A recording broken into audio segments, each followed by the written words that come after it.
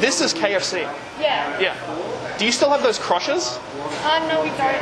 No. So you don't have the Travis Scott meal with the crowd crusher? Yeah, no. Oh.